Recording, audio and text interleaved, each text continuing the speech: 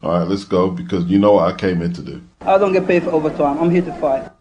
The Mail Online are reporting that Conor Benn will not be banned from the WBC rankings with a ruling in his favour expected from the governing body. Conor, he's broke his silence. I told you I was innocent. And basically, he's waiting on the WBC to make an announcement that will see him reinstated to their rankings.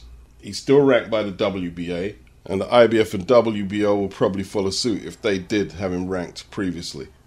Now, Benn, he provided the WBC a 270 page dossier that he believed would clear his name, and he's done so. He has done so. He always claimed it was contaminated and that's the line right now. We have to wait to see what UKAD turn up. And it was like Conor sending in the heavies, he's sending the lawyers for the British Boxing Board of Control, as he's telling Robert Smith here, the secretary of the board. Don't worry, Robert Smith, you'll be hearing from my lawyers. Should they clear him? I mean, they didn't pop him in the first place, and like, their investigation is for what really? It's not like they can find him dirty of anything, because they can't retest him. The testing process that ship sailed last year in the build up for the Eubank fight. The agency the British Boxing Board of Control used, UKAD, didn't find him dirty of anything. So what are they doing? They're saying they're carrying out an independent investigation, but yet you want the dossier that he sent the WBC. The reason he's sending it to the WBC is because he was popped by VADA, and the clean boxing program is commissioned by the WBC. Those are the parties he really needs to be cleared by. It's kind of like when they passed Billy Joe Saunders when he got popped by the Massachusetts Commission before the aborted Andrade fight. The Massachusetts said he was dirty. The British Boxing Board of Control said he used whatever nasal congestion out of competition, like he wasn't in camp or something when he took it. But according to Massachusetts, it was in competition within their rulings. Now, this is what I'm saying. Unless you have joined up thinking between the two agencies doing testing, you're always going to get chaos. I told you that. I said it how many times you need joined up thinking. How many times? But this here is just fucking confusing. And in my opinion, it's the border are coming off the ones looking stupid. It's them looking stupid, incompetent. And you can go to the Billy Joe Saunders case, to the Tyson Fury case, with the ridiculous idea of a retroactive ban. This ain't the first time that they've showed inadequacy in this department. Conor was cleared by the appropriate parties he needed to be cleared by. It's as simple as that. Contamination. Eddie, as far as he's concerned, he's saying, fuck the British Boxing Board. That's a big statement considering they dish out the licenses, but he's had enough. And he's saying they will get the dossier after the WBC completes their process and clear Conor, And he's smart to do that. Robert Smith secretary of the British Boxing Board of Control.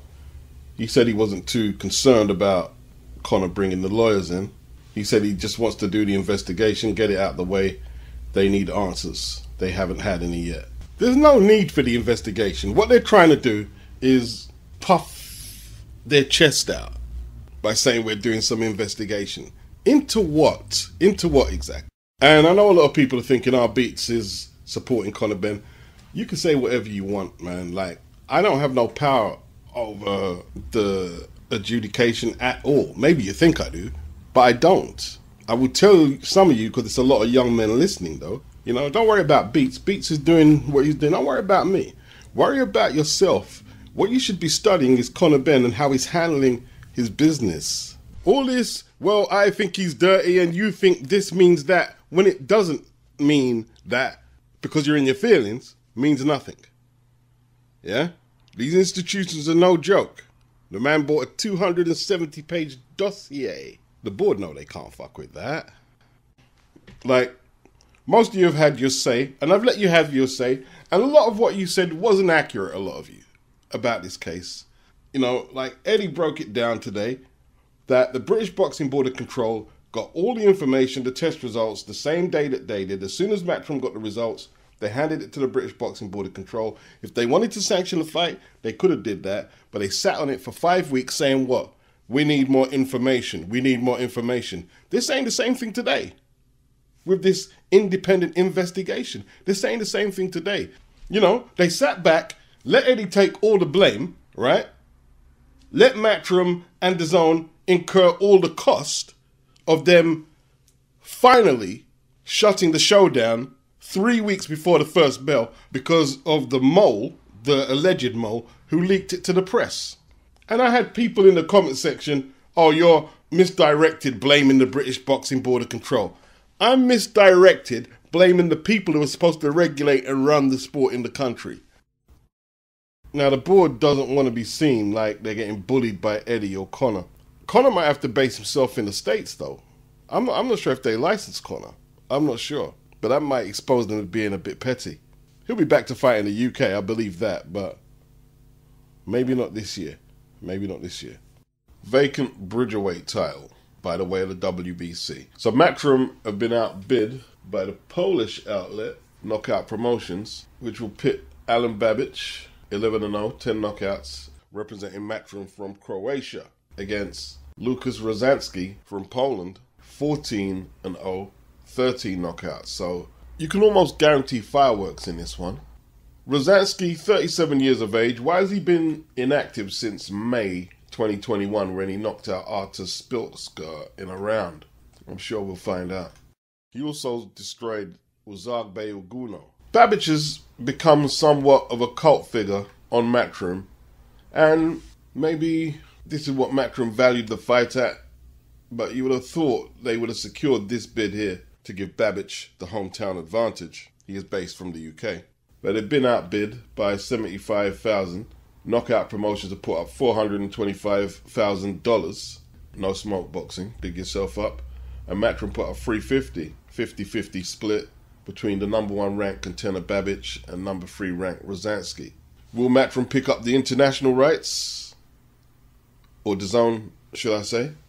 Because I'd like to see the fight without having to search for a stream. I'm sure we'll get the international rights. I, am quite certain of that. Unless bloody Sky stick their oar in, because their mission seems to consist of, oh, well, if Matchroom won it, we're going to get it before them and upstage them. So this is for the vacant title that Oscar Rivas gave up. This will be the second Bridgerweight fight since the inception of the division. No Smoke Boxing say it's a 50 50 explosive, unpredictable contest which will be must see TV. I mean, both men undefeated have stopped all their opponents bar one.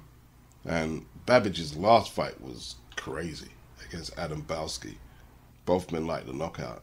Eddie, get this fight. Get this fight, man. At least get the international rights. Come on, man. I'm speaking on behalf of the DAZN subscribers here. Get this fight.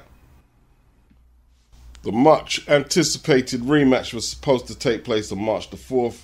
Josh Taylor pulled out with a foot injury. Jack Catterall left disappointed again. The fight looks doomed. It looks doomed to me. Josh never wanted the fight. He tried to convince the public that he won when most of the public thought he lost. When he realized he wasn't winning that battle, and well, some people say he gave up his belts, He's left with one strap now, the WBO strap. His pride almost pushed him into a corner and said, okay, I have to take it, you know. But I never felt he was fully committed to this rematch. I never felt it. I never felt it. This is just opinion. A lot of this is just opinion. I wasn't shocked when he pulled out. I wasn't shocked. He can't motivate himself to fight this guy, I don't believe. And I spoke about it before the first fight. I don't think, and for that matter, I don't think he can be effective at 140 again. I don't believe he can. Now, he could be injured, but he could be injured and be milking the injury. Bob Arum said he's trying to get the fight rescheduled for June. Catterall needs to get on with his career. It's Josh who has the problems making 140. He has the alleged injury. He has the turmoil that he doesn't believe he won the fight.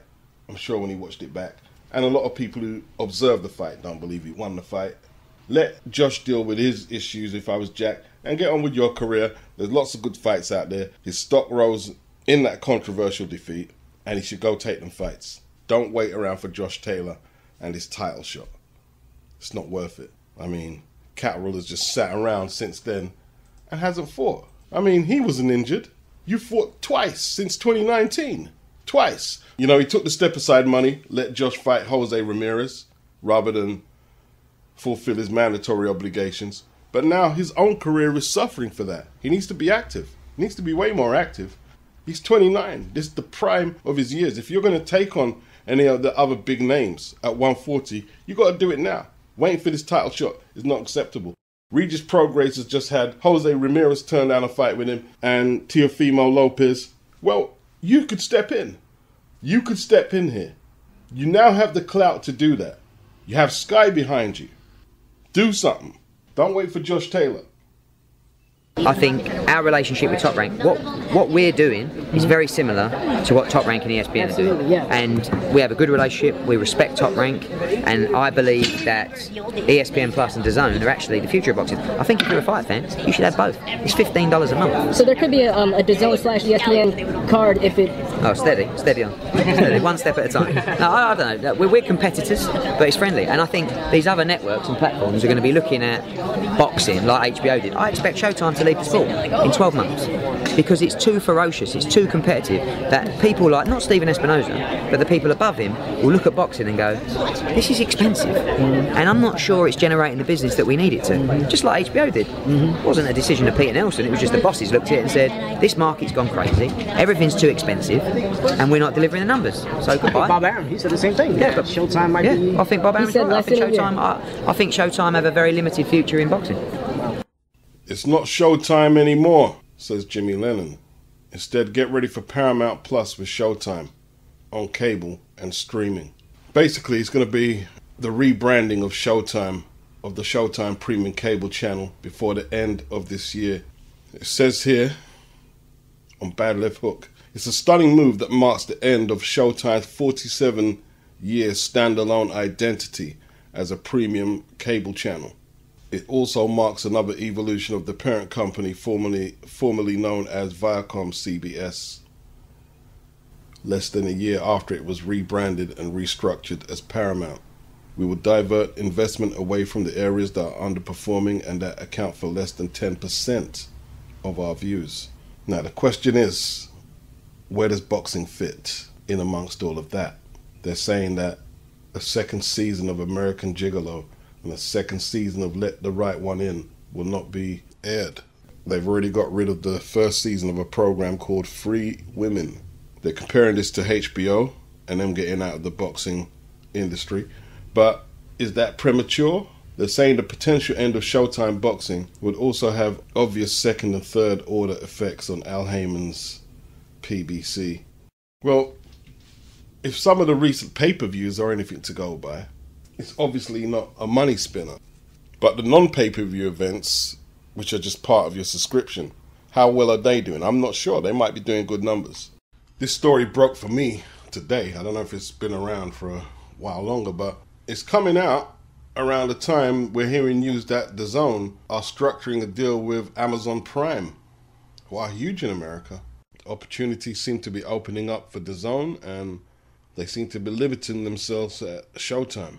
More news when it arrives about this one. It's very interesting. Don't really trust the World Boxing News site, but despite their obvious biases, some of the journalism is tangible. So let's go with this. Last year, November, they're talking about Jake Paul flop deal could be the final nail in Showtime Boxing's coffin. You know, he came over from Triller after Mike Tyson and Roy Jones really put up all them numbers, and he rid off the back of that like he was selling all the pay per view. And he done well first fight against Tyron Woodley, done 500k. The rematch though, done 65k. And they're saying that the Anderson Silva fight done 200k. And despite all the followers he's got on social media, it's not transferring to pay per view buys. And in a way, I'm wondering if a similar thing is going to happen if Ryan Garcia fights Tank. Like, Ryan has got all these Instagram followers, and I'm sure Tank has a few. And some people are theorizing that they're big stars on the back of that. But until it converts into pay per view buys, you can never really tell. You can never really tell. You know, there was also the Caleb Plant Canelo fight. Canelo stepped off with 50 million. Caleb got 10 million. And Canelo basically hit and run without buying Showtime dinner. You know, it's too early for me to speculate any further. We'll come back to this with further developments. Can't find a clip I had earlier, so I could reference some points. But Beterbiev getting two mandatories on the bounce, Callum Smith next. And apparently, the WBC are adamant that he has to fulfill his mandatory obligations. So, a Bivol fight is not going to happen. It's, it's not going to happen. Not for undisputed, anyway. Not unless Artur gives up one of the belts and they still go for it. But is it the politics between Russia and the Ukraine? Why it's being blocked? Has that got something to do with it? Because remember, like Sulaiman, he put a ban on all Russian WBC champions and contenders. And then a little while after that, they backtracked on that. But just because it's not official doesn't mean that they're going to make it easy for Russians to get WBC sanctioned fights. But it's quite sad. It's quite sad if it's come to that, really. It really is.